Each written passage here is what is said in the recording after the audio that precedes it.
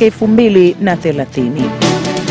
Jeshi la polisi limemwachia kwa dhamana Mtume Boniface Mwamposa na wengine saba kufuatia tukio lililosababisha vifo vya watu ishirini. Mahakama ya juu nchini Afrika Kusini imetoa hati ya kukamatwa aliyekuwa rais wa nchi hiyo Jacob Zuma. Na katika michezo na burudani, timu za soka zahimizwa kulipia kodi wachezaji na makocha wao wa nje. Kila mgeni akifikisha zaidi ya miezi sita anahesabika ni local resident na anatakiwa alipe kodi hiyo. Wasomaji wako usiku huu ni Chunga Runza na Lulua Mohamed.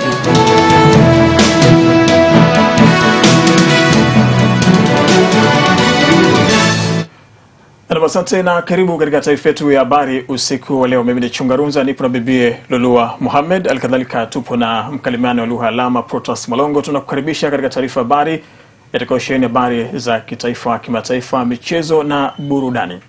Mtazamaji pia unaweza kuyafuatilia matangazo haya moja kwa moja kupitia app ya TBC Live, mitandao yetu ya kijamii YouTube na Facebook. Pia unaweza kututumia maoni yako nasi tutayasoma hapo baadaye. Tunaanza na habari za kitaifa.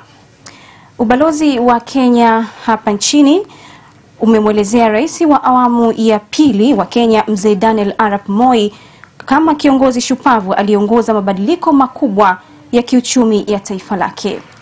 Akizungumza na TBC Mwambata wa kijeshi katika ubalozi wa Kenya, Swale Nzaro amesema Kenya imempoteza baba aliyojenga umoja na mshikamano kwa Wakenya na Afrika Mashariki kwa ujumla. Mwandishi wetu Amin Anton Mgeni ametuandalia taarifa hii kutoka hapa Dar es Salaam.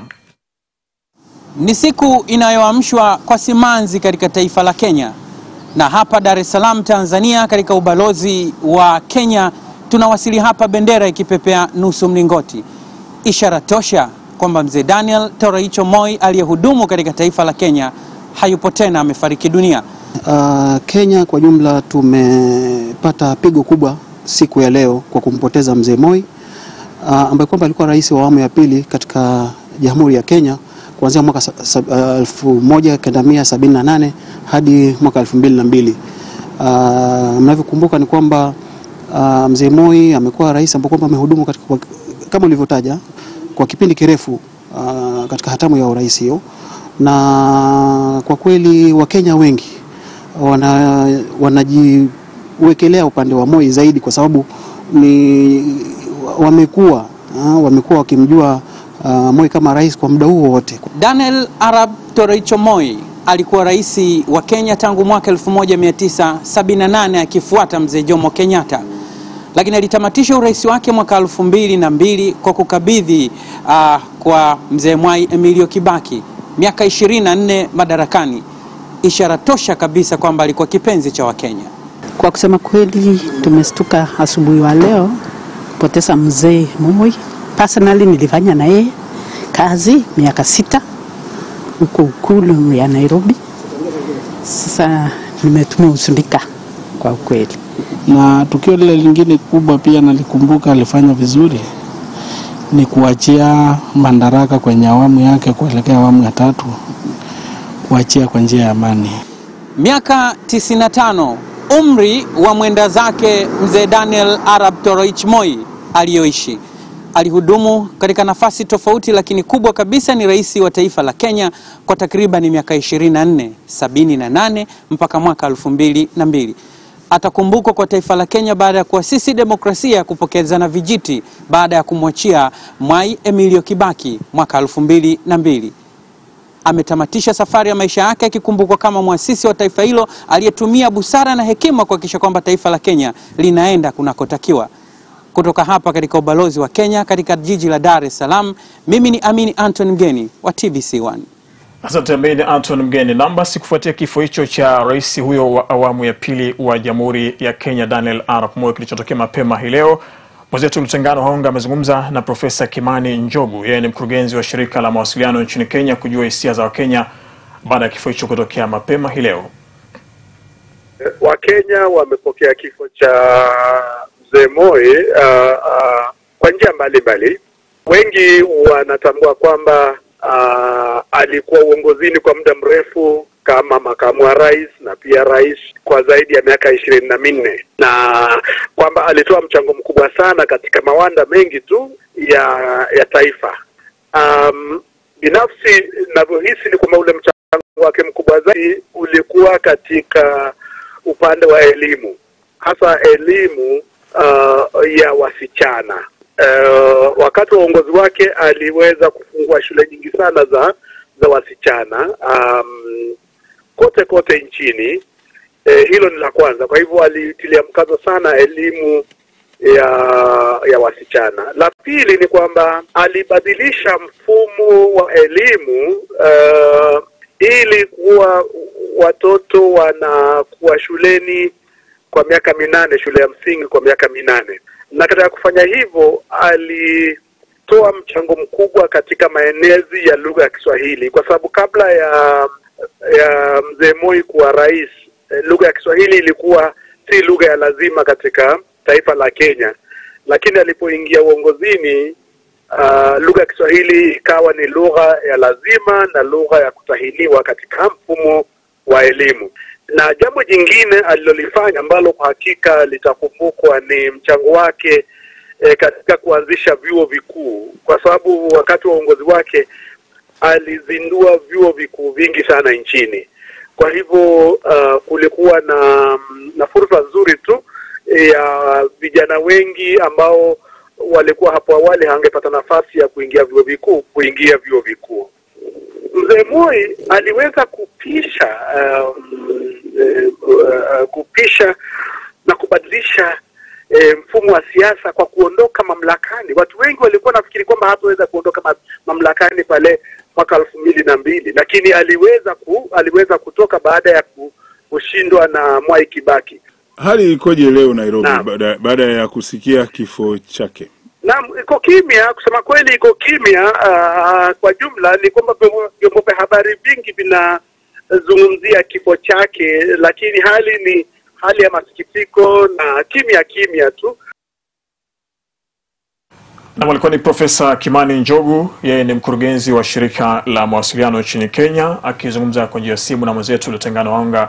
Kikubwa zaidi ni kutaka kufahamu hisia za Wakenya mara baada ya kutokea kifo cha kiongozi huyo eh, wa pili wa Jamhuri ya Kenya. Lulua, Na mtazamaji, tukisalia katika taarifa hiyo ya kifo cha rais wa awamu ya pili wa Kenya, Rais Dr. John Magufuli ametuma salamu za rambirambi kwa Rais Uhuru Kenyatta na Wakenya wote kwa kuondokewa na rais mstaafu Daniel Arap Moi. Katika salamu zake, Rais Magufuli amesema Watanzania watakumbuka uongozi wake mahiri, jitihada za kuimarisha uhusiano na Tanzania na Kenya na kufufua Jumuiya ya Afrika Mashariki. Viongozi wengine waliotuma salamu za pole ni pamoja na rais mstaafu wa awamu ya tatu Benjamin William Mkapa ambaye amemwelezea hayati Moi kuwa ni kiongozi shupavu waliyefanya naye kazi katika kupigania haki na usawa katika ukanda wa Afrika Mashariki. Kufuatia msiba huo, Rais Uhuru Kenyatta wa Kenya ametangaza rasmi maombolezo ya kitaifa. Muda wa maombolezo hayo kwa mujibu wa taarifa ya ikulu ya Kenya utaisha baada ya mazishi ya mzee Moi. Mpaka sasa ratiba ya mazishi bado haijawekwa hadharani. Tukiachana na kifo hicho cha Rais Daniel Arap Moi mstaafu wa Kenya, jeshi la polisi limemwachia kwa dhamana kiongozi wa kidini Boniface Mwamposa na wengine saba kufuatia tukio lililosababisha vifo vya watu ishirini waliokuwa wakigombea kukanyaga mafuta ya upako mjini Moshi mkoani Kilimanjaro siku ya Jumamosi. Msemaji wa jeshi hilo David Misime amethibitisha kuachiwa kwa watu hao baada ya kufanyiwa mahojiano na polisi. Kulingana na taratibu matukio yanavyotokea, basi alikamatwa pamoja na wenzake, jumla akiwa nane. Mkuu wa jeshi la polisi Tanzania Inspekta Jenerali eh, Simon Nyakorosiro alituma maafisa wakiwepo wataalam wa uchunguzi wa sayansi ya jinai, na wamewahoji hao watu na wakapata kile ambacho walikuwa wanatafuta, na kwa mujibu wa sheria wamedhaminiwa wakiendelea kuripoti na wakati hiyo timu ikiendelea kufanya uchunguzi ulikamilika. Baada ya wataalamu wetu waliotumwa na afande inspekta jenerali wa polisi kufanya mahojiano nao na kupata kile kilichokuwa kinahitajika, wamepewa dhamana kwa mujibu wa sheria na wataendelea kuripoti, na jeshi la polisi linawataka watu, kila mtu awe na subira. Uchunguzi utakapokamilika, eh, mamlaka husika itatoa taarifa na yale ya kutekeleza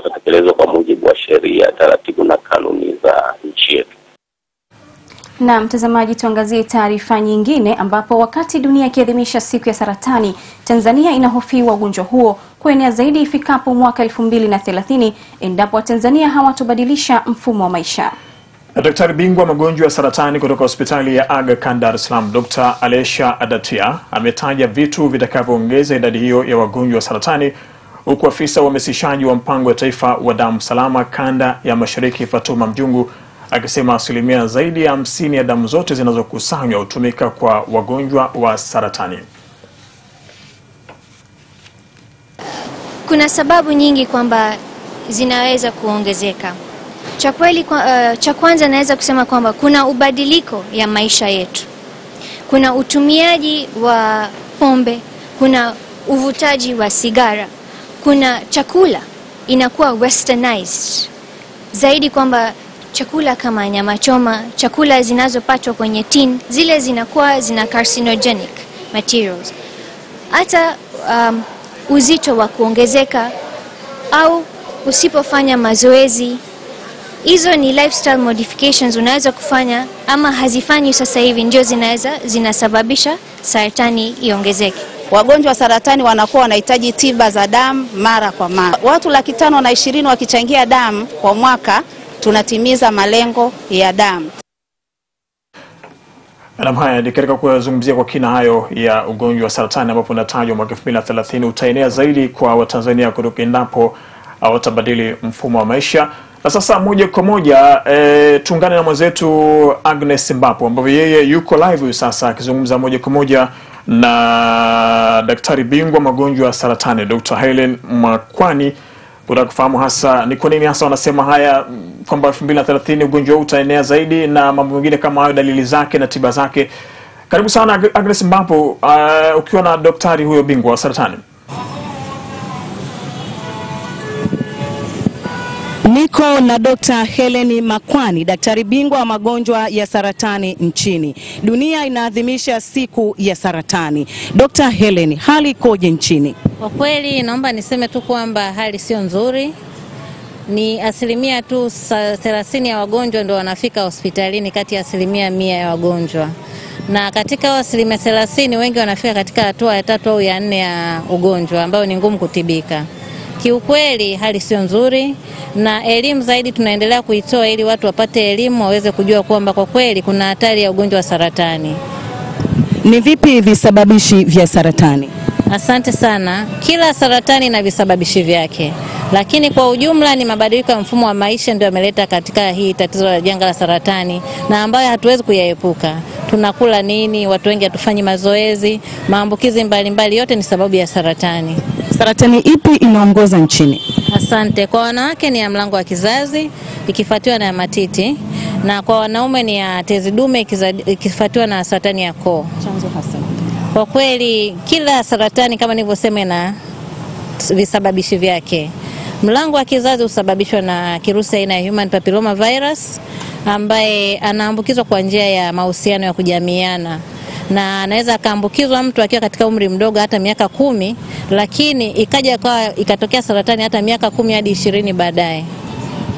Na tiba ya hizi saratani ikoje? Kwa kweli tunajivunia kwamba katika saratani ya mlango wa kizazi ni moja ya saratani ambayo tunaweza kusema tunaitibu vizuri kwa tiba mionzi, japo watu wengi sana wanaogopa mionzi, lakini ikoje kwa tiba hizi? Kwa kweli kila tiba ina madhara madogo madogo ambayo hayaepukiki, na baada ya matibabu hayo madhara yanaisha na mtu anakaa vizuri. Lakini watu wengi wanafikiria kwamba ukija kwenye tiba ya mionzi ndio mwisho wa maisha yako, lakini kuna mashuhuda wengi sana ambao wametibiwa na wamepona. Saratani ukiwahi unapona, hasa hatua ya kwanza na ya pili. Ni daktari bingwa magonjwa ya saratani nchini Dr. Helen Makwani. Saratani ukiwahi inapona. Tujitokeze mahospitalini mapema ili kupata tiba ya saratani. Asante. Ni Agnes Mbapo akizungumza na daktari bingwa wa magonjwa ya saratani Dr. uh, ni Dr. Mamani huyu akiwa nje ya studio zetu hapa, lakini kubwa zaidi ni wakati hii leo dunia ikiadhimisha siku ya saratani duniani, huku ikitajwa kuwa uh, endapo tutozingatia ulaji mzuri ama utaratibu mzuri wa kimaisha wa, kufu, wa, wa, wa, wa kufuata 2030 ugonjwa huu utaenea kwa kasi zaidi, kwani moja kati ya magonjwa hatari kwa sasa. Tuachane na hayo ambayo yalikuwa akigusia masuala mazima ya saratani. Wataalamu wa lishe wao wameeleza kuwa kula, kushiba pasi na kufuata taratibu za ulaji kwa afya ni sawa na kujaza tumbo. Wataalamu hao wameeleza hayo mkoani Kigoma ambapo kwa sasa mkoa huo unatajwa kuwa na tatizo la udumavu kwa watoto asilimia 38 licha ya kuwa miongoni mwa maeneo yenye vyakula vya kutosha. Mwandishi wetu Egidius Audax ana maelezo zaidi. Hapa si sherehe wala si ugomvi, bali wenyeji hawa wanagawana kifungua kinywa. ujiwalishe wa lishe, ishara ya maadhimisho ya siku ya afya na lishe katika kijiji cha Muze wilayani Kasulu mkoani Kigoma. Ni maadhimisho ya kipekee kabisa yaliyojikita kutoa elimu ya lishe kwa wenyeji, tatizo ambalo linatajwa kuwakumba watoto wengi kijijini hapa. Tunavyotoa ushauri tunauliza wakina mama, mama, mtoto unamlisha mara ngapi? Anakwambia namlisha mara moja au mara mbili. Kwa nini unamlisha mara moja au mara mbili? Anakwambia niko busy na mambo mengi. Sasa imagine mtoto wa mwaka mmoja, mtoto wa miezi nane, hata mtoto wa miaka miwili mitatu minne anakula mara moja au mara mbili kwa siku, lazima matatizo ya lishe atayapata, hata kama chakula kiko kingi. Wataalamu hawa wanasema safari ya kudhibiti udumavu kwa mtoto na mama mjamzito inaanza katika siku elfu moja yaani kuanzia siku mimba inatungwa hadi mtoto anapotimiza miaka miwili. Swali ni je, ni vyakula gani vinafaa kwenye maandalizi haya? Kwanza kabisa tuna vyakula vya kujenga mwili ambavyo ni vyakula vyote vya protini. Aa, pia tuna kuna vyakula vya kuulinda mwili. Vyakula vya kulinda mwili kwa mtoto ni vyakula vya aina zote za matunda na mboga za majani. Kwa wenyeji wa kijiji hiki cha Muze, kwao elimu ya lishe sio tatizo. Kitendawili ni namna ya kupata vyakula hivyo. Watoto wengine unakuta mtoto anakula mihogo tu bila mboga, wengine wameolewa na walevi, wengine wanabeba mimba, hawana wazazi, wanakaa mtoto tu kama chokora tu. Siku ya lishe katika kijiji hiki imekuwa neema zaidi kwa wenyeji kuondokana changamoto ya kusafiri umbali mrefu kufuata huduma za matibabu baada ya kuzinduliwa kwa jengo jipya la wodi ya wazazi lililogharimu zaidi ya shilingi milioni 60. Egidius Audax, TBC, Kigoma. Kukithiri kwa taka na changamoto za uzoaji wake katika jiji la Dar es Salaam kumepelekea mamlaka ya jiji la Dar es Salaam kubuni mwarobaini wa tatizo hilo. Mwarobaini huo utafanikishwa na mpango wa kukusanya taka na kuzichakata viwandani unaotajwa kuigharimu serikali zaidi ya shilingi bilioni 75. Taarifa zaidi na Dalin Saidi. Dampo la Pugu ndiyo kituo cha taka zote zinazokusanywa maeneo ya jiji la Dar es Salaam lenye wakazi zaidi ya milioni nne. Taka imeendelea kuwa kero kwa wakazi wa jiji hili kiasi cha kuzua hofu ya kushusha taswira na mandhari ya jiji hili. Wananchi wanazungumza nini kuhusiana na kuzagaa kwa taka hizi katika eneo hili? tunaathirika kama hivyo, unaweza ukakuta yani, unaweza ukafumuka hata ugonjwa ha. Sasa huo nao unatusababishia kwa sababu ya takataka, kwa sababu takataka si rafiki wa binadamu, japo tunazitoa sisi wenyewe. Mvua ikinyesha kidogo kwa ajili ya taka hizo hapo, taka zinakuja zinaziba, maji yanapanda juu, ndo kama hivyo unavyoona. Siku nne baada ya TBC kutoa habari ya kusuasua kwa zoezi la upakuaji taka katika dampo la Pugu, serikali imetaja mwarobaini wa kero hiyo. Halmashauri ya jiji imeshatoa pesa kujenga barabara ya lami katika eneo lote la dampo, lakini baada ya hapo kuna mradi ambao unafadhiliwa unafadhiliwa na donors wa bilioni 75 ambazo pesa zimeshakuja na pesa hizi zimeshawekwa ili ziweze zikaboreshe dampo jipya la kisasa ambalo litaweza kubeba taka zote za mkoa wa Dar es Salaam. Wataalamu wa mfumo mpya wa kuchakata taka wanaelezea hatua na ufanisi wa mfumo huo. Tunataka kuanzia pale chini, taka itakayozalishwa ichambuliwe, lakini ichukuliwe kwa muda, manispaa ziweze kupata service nzuri na taka iende ikapelekwe dampo la, na ndio maana tumeamua mfumo mzima. Leo unaweza ukasema naboresha mfumo wa manispaa fulani, lakini mfumo wa manispaa ikiwa na magari elfu moja lakini dampo aliingiliki, haiwezi kufanya kazi. Miongoni mwa faida ya mradi huo ni kutoa ajira kwa vijana hapa jijini Dar es Salaam. Dalin Saidi, TBC, Dar es Salaam. Kutoka hapa jijini Dar es Salaam tuelekee sasa jijini Dodoma. Mwanasheria mkuu wa serikali Profesa Adeladus Kilangi amesema pendekezo la kutaka waliothibitika kufanya vitendo vya udhalilishaji kijinsia kuhasiwa litapelekea kukiukwa kwa matakwa ya katiba ya nchi. Akizungumza bungeni mjini Dodoma, Profesa Kilangi amesema katiba ya nchi inaonyesha kuwa ni marufuku kwa mtu kuteswa ama kuadhibiwa kinyama. Kwa undani basi wa taarifa hii na nyingine nyingi tu, tafadhali ungana naye Ashere Thomas kutoka studio zetu Dodoma. Shukran Dar es Salaam na karibu jijini Dodoma, mtazamaji wa TBC1. Mimi ni Asher Thomas. Ni kinyume na sheria za nchi yetu, kauli ya Profesa Adeladius Kilangi, mwanasheria mkuu wa serikali, ikiwa ni baada ya baadhi ya wabunge kupendekeza kuwa wanaume wanaofanya vitendo vya udhalilishaji waasiwe. Hii ni ya kwenye vikao vya bunge vinavyoendelea jijini hapa, ambapo mwanahabari wetu Kulufu Mali ni shuhuda wa yaliyojiri kwenye vikao vya leo. Vikao vya bunge vinaendelea bungeni mjini Dodoma, ambapo hii leo wabunge wameendelea kuchangia maswali mbalimbali mbali. Lakini baadhi yao wameiomba serikali kuongeza adhabu kwa wanaume wanaofanya vitendo vya uzalishaji wa kijinsia. mbakaji apewe adhabu ya kuhasiwa ili asije akarudia tena kufanya kosa kama hilo ambalo linaleta ukatili mkubwa sana kwa wanawake na watoto na linawaathiri kiasi kwamba hata kama mtu amechukuliwa hatua bado wale ambao wameathirika wanapata athari kwa muda mrefu. Ikamlazimu waziri mwenye dhamana ya katiba na sheria Balozi Dr. Augustine Mahiga kutoa ufafanuzi. Kwa makosa haya adhabu ambazo zipo mpaka sasa ni kali. Lakini je, sheria za nchi zinaruhusu? Ibara ya kumi na tatu ibara ndogo ya sita inaeleza kwamba ni marufuku kwa mtu kuteswa, kuadhibiwa eh, kwa kinyama au kupewa adhabu zinazomtweza au kumdhalilisha. Na kisha ushauri ukatolewa kwa wazazi. tuwafuatilie watoto wetu, tuwakague watoto wetu, tuwaulize watoto wetu, tujenge urafiki wa watoto wetu kutueleza changamoto na matatizo ambayo wanayapata. Kwa sasa sheria ya makosa ya kujamiiana ya mwaka 1998 inatoa hukumu kwa watu wanaofanya vitendo vya udhalilishaji kwenda jela miaka 30 au zaidi. Asante Kulufu Mali. Usalama barabarani unazidi kuimarika. Hiyo ni kauli ya kamanda wa kikosi cha usalama barabarani, kamishna msaidizi mwandamizi wa jeshi la polisi SACP Fortunatus Muslim alipotembelea maonyesho ya wiki ya sheria kwenye viwanja vya Nyerere Square hapa jijini Dodoma, ambapo amesema malengo yaliyopo ni kupunguza ajali na athari zake. E, kwa sasa hivi unaweza ukakuta kwa nchi nzima zinatokea ajali mbili, ajali tatu, lakini sasa hivi tunachojikita zaidi sio kwamba idadi ya ajali ngapi zimetokea, kwa sababu sasa hivi ajali zinapungua kwa kiwango kikubwa. Nao baadhi ya wananchi mkoani hapa wamesema kuongezeka kwa uelewa kwa watumiaji wa vyombo vya usafiri ndio kumechangia kupunguza ajali. ili wameajiri tuseme madereva ambao wameenda shule.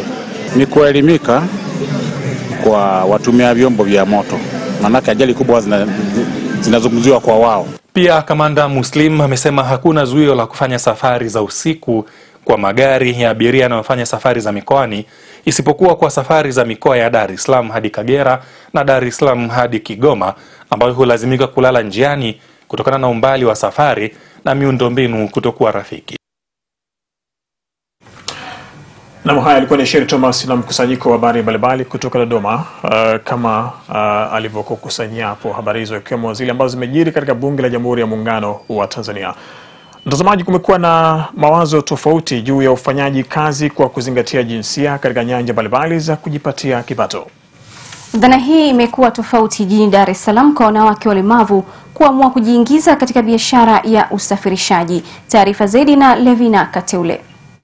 kutokea maana tusionekane si ndo tuna hodari wa kuziba barabara, kumbe magari yenu yanaziba njia. Kazi ni kazi, haijalishi ni aina gani ya kazi na nani anafanya kazi hiyo. Bajaji ni usafiri ulioshika kasi katika jiji la Dar es Salaam na maeneo mbalimbali ya nchi. Usafiri huu ni usafiri wa haraka ambao unawatumika na Watanzania kutoka sehemu moja kwenda sehemu nyingine, na usafiri huu umekuwa ukitumika mara nyingi kwa wanaume, lakini sasa wanawake wapo kazini. Ulemavu wangu sio ndo utanifanya mimi nishindwe kuendesha bajaji au nishindwe kuendesha gari. Nimefanya safari kutoka katikati ya jiji la Dar es Salaam kwa kutumia usafiri huu wa bajaji unaoendeshwa na dereva wa kike ambaye pia ni mlemavu. Hapa nataka kujua anawezaje kupambana katika kazi hii. Inawezekana mtu kwa mfano hivi dereva mwenzio ye mwanamme spidi si anajiamini, huyu mwanamke ngoja ni overtake, yani anionyeshe kama mimi naweza au siwezi. Lakini itafikia muda utashangaa tunaenda sambamba, mimi na yeye, yeye mwanamume na mimi mwanamke. Nimemchukua baba wa Kisomali siku hiyo, naambia baba, twende. Hapana mama, hapana, hapana. Nikaambia twende, mimi dereva, dereva ni wewe mama? Nikaambia eh. Baba yule kaacha kupanda kwangu, kasimamisha bajaji ya mwanamume, kaondoka. Unajua nilicheka. Na je, ni changamoto zipi zinazomkabili katika kazi hii? Kila siku uniletee elfu ishirini kwa wiki, laki na ishirini mpaka Jumapili laki na arobaini. Vinginevyo hapo bajaji unanyang'anya, na usiumwe wala usiwe na shida. Ina maana ukiwa na shida uje use- u- u- u- ufidie siku inayofuata, na kama ulikuwa unadaiwa elfu sitini kwa hiyo siku hiyo upambane mpaka upate sitini na nyingine iwe themanini. Umeelewa? Ili usimchoshe nani bosi. Ukimchosha, ukiumwa, ukilala siku mbili, bajaji inachukuliwa inapelekwa kwa mtu mwingine ambaye haumwi. Ushauri ukatolewa kwa wenye ulemavu katika kujitafutia riziki badala ya kusubiri kusaidiwa. Wale walemavu wenzangu ambao hawajapata bahati kama hizi waje wajifunze, waende hata VETA, waende hata kwa majirani, marafiki, wawafundishe kama tulivyofundishwa sisi. Watapata tu hata vyombo vya watu, watakuwa wanaazimwa azimwa. Falsafa ya hapa kazi tu imemwezesha mlemavu wa Tanzania katika ngazi za juu ikiwemo uwaziri na diplomasia. Lakini kwa upande wa ajira, hii ni tafsiri nyingine ya mlemavu na hapa kazi tu. Kutoka jijini Dar es Salaam, mimi ni Levina Kateule wa TBC. Na kati Kateule na wanawake wakisaka pesa kupitia uh, udereva huo wa bajaji. Lulu, unaweza kuendesha bajaji? Nikijifunza na, naweza Lakini sasa hivi huwezi. ah, siwezi, lakini nadhani sio kazi sana.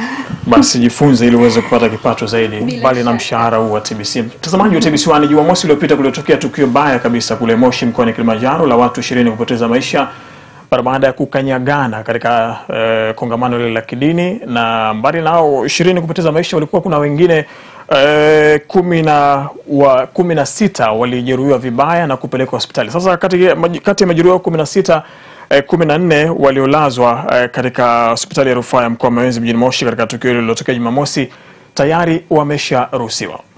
Muuguzi mkuu katika hospitali ya rufaa ya mkoa Mawenzi, Dr. Josephine Kimario amesema majeruhi wengi walipata mshtuko katika mkanyagano huo.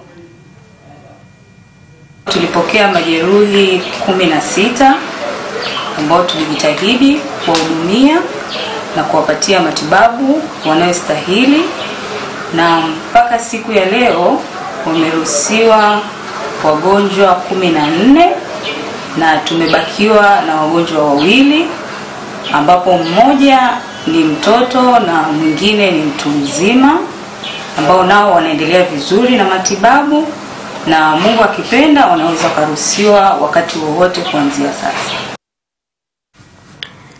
Na mtazamaji, turejee hapa jijini Dar es Salaam. Tuelekee jijini Tanga ambapo wakazi wa jiji la Tanga wamesema wameanza kuyaona matunda ya uzi- uzuiaji wa uvuvi haramu katika maeneo yao baada ya kupata kitoweo cha samaki kwa wingi ambapo awali samaki kama hao walipatikana kwa wingi miaka kumi iliyopita. Wakizungumza na TBC kwa nyakati tofauti, wananchi hao wa Tanga wameomba zoezi hilo la kuzuia uvuvi haramu liwe endelevu. Betha Mambela anaripoti kutoka Tanga. Hapa ni Deep Sea, eneo la Chumbageni jijini Tanga. Nyuma yangu watu unaowaona wamemiminika katika eneo hili kwa takribani siku mbili mfululizo wakifurahia kuwepo kwa kitoweo cha samaki ambacho katika siku za nyuma ilionekana kwamba kitoweo hiki kilipotea kidogo. Nimekuja hapa kununua samaki aina ya sehewa. Kwa takribani miaka kumi hatujapata kuona gharika kama tulivyoipata hii ya leo ya kitoweo cha samaki. Kwa hiyo Watu wengi wa mkoa wa Tanga na wilaya kadhaa, Muheza, wapi wapi, wote wamekuja kwa ajili ya kununua kitoweo cha samaki. Mwanzo samaki kama huyu ulikuwa unampata kwenye shilingi elfu saba elfu kumi lakini kuanzia sasa hivi samaki anapatikana samaki anapatikana kwa shilingi mia saba alfu mia tano Kwa hiyo tunampongeza sana Rais John Pombe Joseph Magufuli kwa kwanza kwa kuzuia nyavu haramu. Kwa hiyo mtu anakwenda hapa na pale anakuta samaki anarudi nao, kutokana na uvivu kama hivyo, uvuvi haramu sasa hivi ujue umepungua. Tunashukuru pia serikali kwa hilo. ila tuambia kwa wale ambao palikuwa na ugumu ya hali ya, ya, ya samaki, ilikuwa ni hali mbaya sana. Kwa hiyo tuwatangazia sasa hivi, jamani, neema ipo maeneo yetu ya soko la DC. Kwa unapodhibiti uvuvi haramu ukatengeneza mazingira mazuri ya dagaa kuzaliana kwa wingi, na hawa samaki nao wanakuja kula dagaa kwa wingi, kwa sababu hawa kihistoria samaki hao wanatokea sehemu za Australia. Wananchi unaowaona kutoka eneo hili wametoka maeneo mbalimbali ikiwemo wilaya za jirani, lakini pia nje ya mkoa wa Tanga. Wamefika mahali hapa ili kuweza kujipatia kitoweo, samaki ambao wanaonekana wametoka kwa wingi katika msimu huu. Tani kumi na tano zinadaiwa kutoka eneo hili kwa siku. Betha Mwambela, TBC Tanga.